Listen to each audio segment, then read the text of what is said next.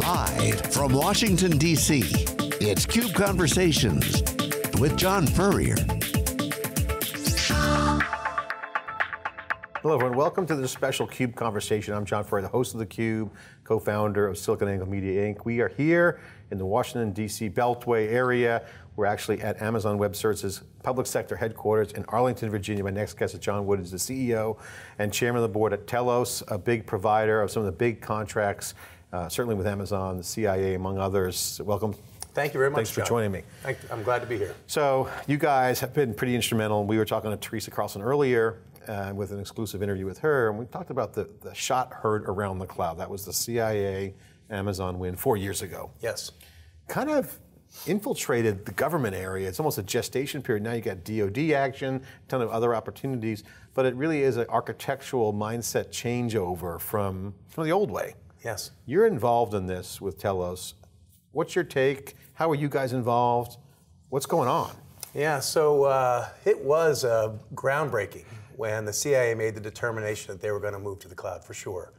It kind of made everybody stand up and take notice. You know, if the most security conscious organization in the world was considering it, why aren't I? And here we are four years later. So where is the CIA now? Well, now the CIA is able to provision a server in a couple minutes, whereas in the past it used to take them almost a year. Now, with the use of automation tools like we have with Telos and the Xacta suite, you know, the CIA is able to get their authority to operate in less than a week when it used to take 18 months. So I basically think what's happening is the cloud is providing an access point to IT modernization, and the agency is showing that there's a blueprint that the rest of the government can also follow if they want to. One of the things we're involved in a lot of blockchain coverage as well as kind of kicking the tires on blockchain. You're in the middle of the cloud game with identity. Identity is the secret to having good scalable systems.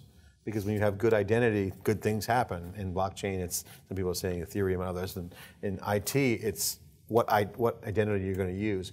How does the authority to operate challenge you mentioned become so important? Because you're talking about you know, massive amounts of time. I mean, time savings. Yeah. So, so just tease out the nuances of why it's so important to have that identity solution. So in the past, the, uh, there was no common language within which our cybersecurity professionals could engage with each other. Now, with the signing of the President's executive order on cybersecurity, it, the, the, the White House really is mandating the adoption of the NIST framework.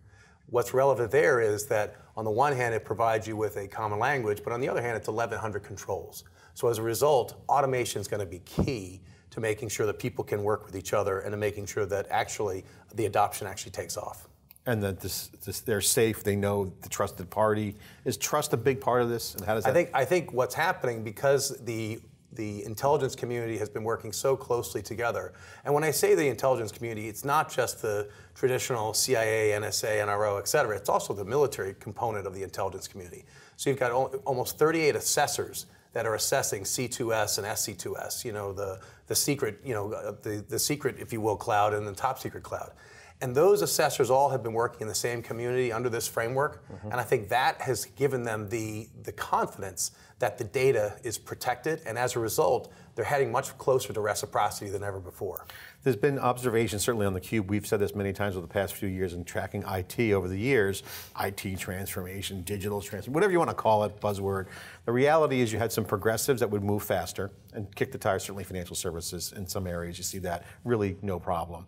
Then you had the, the, the folks who are just been consolidated down, didn't have a lot of budget, and were lagging, waiting to adopt.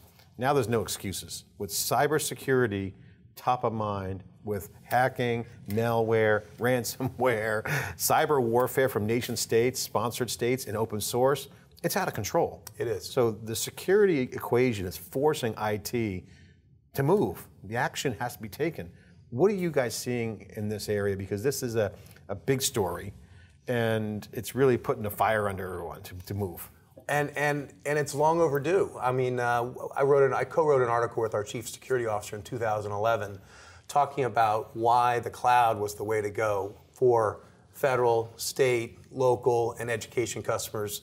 And at the end of the day, I think what's happening at the, at the, from a top cover perspective, the legislative community understands that. Obviously, the executive branch understands that. And now with, with initiatives like C2S, the rest of the environment, the rest of the government can see what's possible. So I believe that the leadership within the government is ready for this change. They're seeing the benefit as it relates to C2S and SC2S. And ultimately, the, the key is the guys who run the contracts themselves.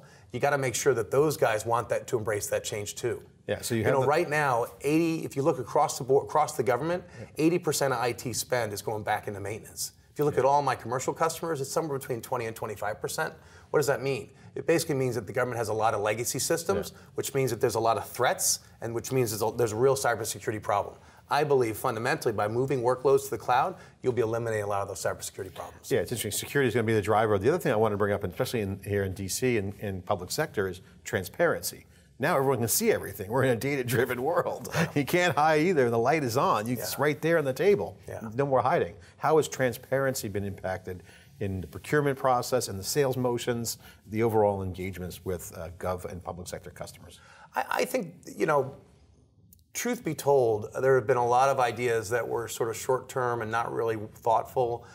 But the good news, as I said, is that the, the policymakers are, are really um, thinking and considering trying to figure out how to make changes. Uh, Take, for example, LPTA, low price technically acceptable.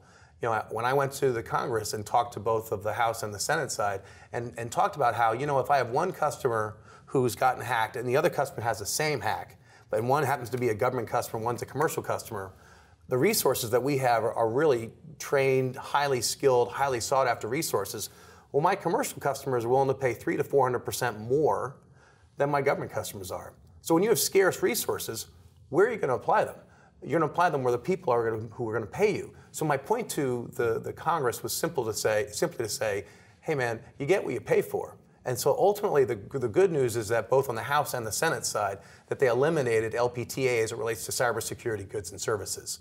So I believe that, as again, that there's a lot hmm. of not just transparency happening, but there's a lot of you know people realizing that there are things that we can do. Procurement is kind of the last frontier for me. I have seen recently. I saw one of our government customers where we're a subcontractor. They went with something called an OTA, which, which stands for an other transaction agreement.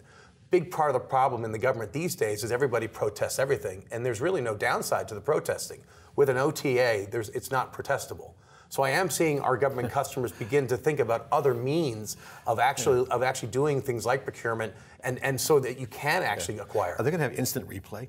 I mean, it sounds like the NFL. That call is not reversible. I mean, this is kind of, we're getting into all these rules and regulations where you got protests. It seems that policy injection is not healthy at some level because that point about what, what costs more on the commercial side because the demand there, they understand the consequences and the resource availability to the government. You just eliminated a policy that wasn't really helping.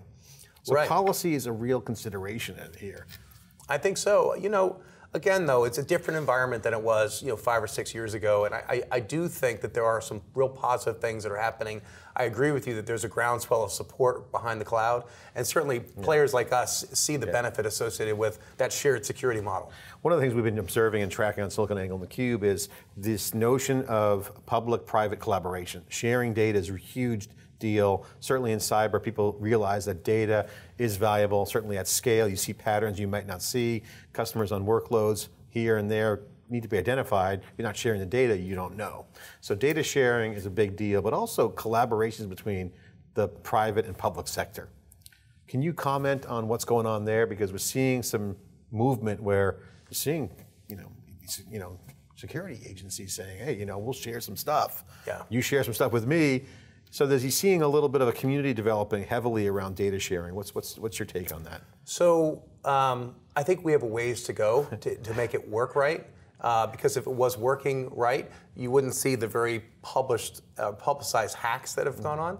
Uh, one of the things that the Congress can do, I think, is to provide incentives for the private sector to share more information more quickly. You know, when the Yahoo hacks occurred, it wasn't discovered until two or three years later. So as a result, you know, there's really, like I said, there's no incentive, and there, there's a perceived amount of liability. So one of the things that I'm asking the, uh, some of our Congress people to consider is if you do share information, maybe there's a limitation on liability. And that provides, if you will, a, a mechanism, and that provides an incentive for the private for the private organizations to work with the public organizations. Yeah.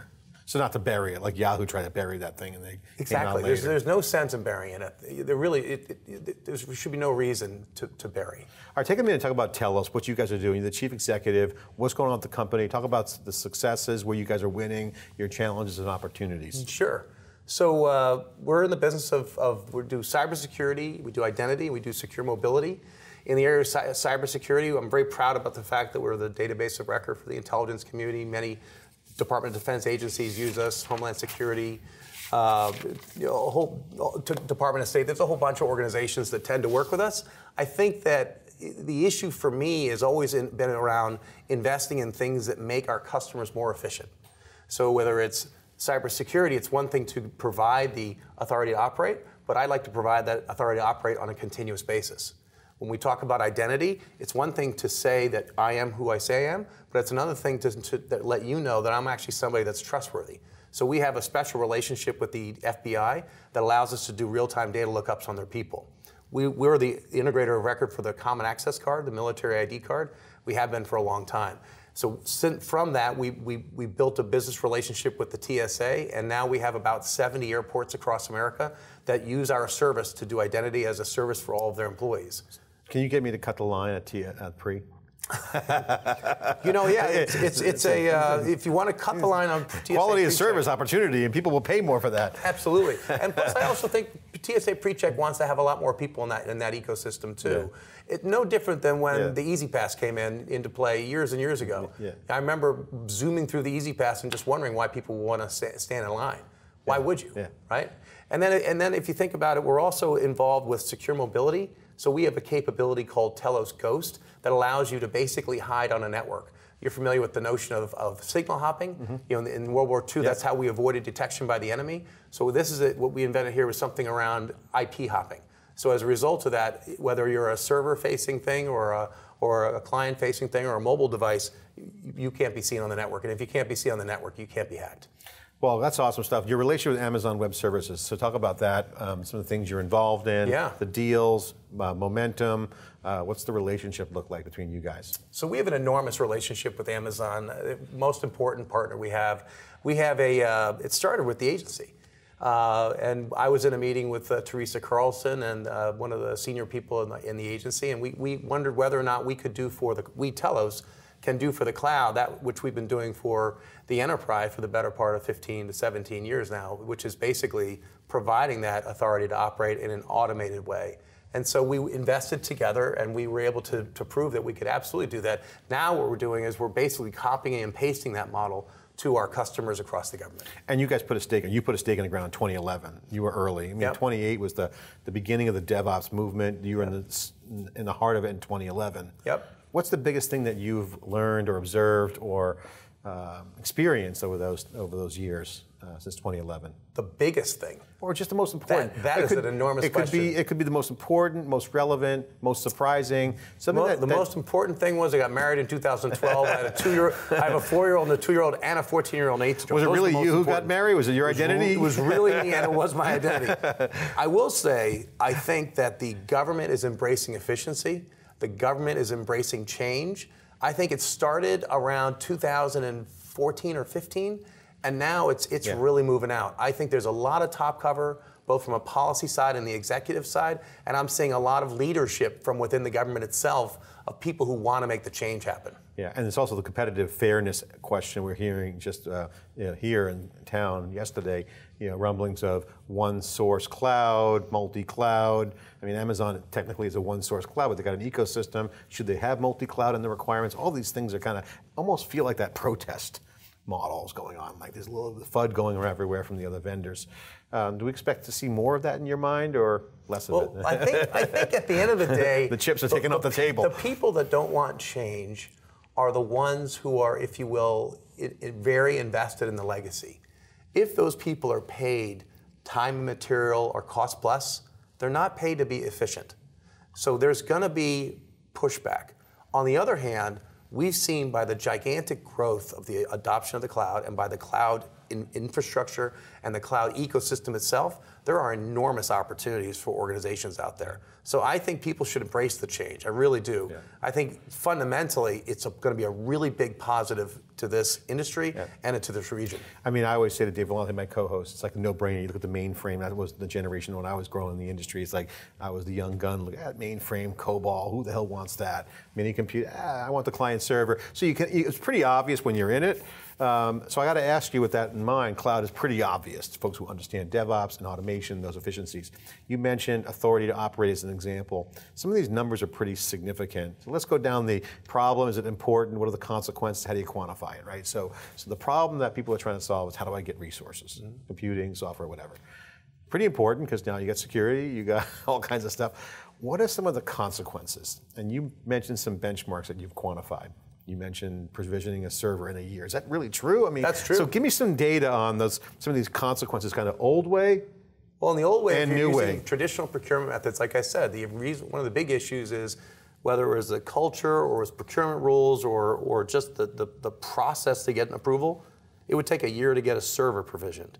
Now it's literally you push a button and one to two minutes later you have a server, a new server. So you get ultimate scale, you get ultimate throughput. Mm-hmm you pay as you go, you pay what you use. What's not to like? So that's all good. From the standpoint of security, because it's the NIST framework, we can automate about 90% of that. That's 1,100 controls, right? So we automate about 90% of those 1,100 controls. Now you get a whole bunch of auto inheritance, a whole bunch of things that can be automated are. And as a result, when NIST goes from one version of NIST to another version, all that happens automatically. Yeah. And more importantly, to, as a cybersecurity professional, and I've only been at it since 1994, so I've been in it for a relatively long time as a CEO. As a cybersecurity professional, you know what I see is as long as I can show a continuous monitoring of your current status, that's very relevant to the operational security professional. That's really good.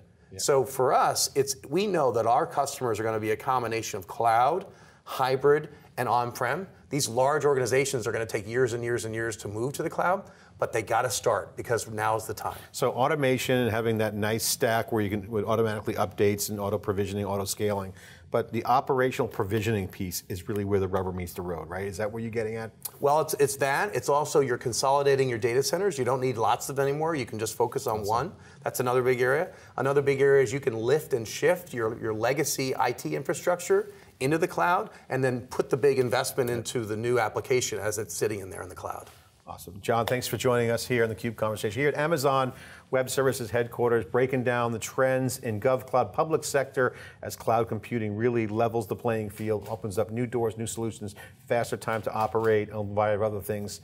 Uh, here in Washington, D.C. and Arlington, Virginia, I'm John Furrier. Thanks for watching.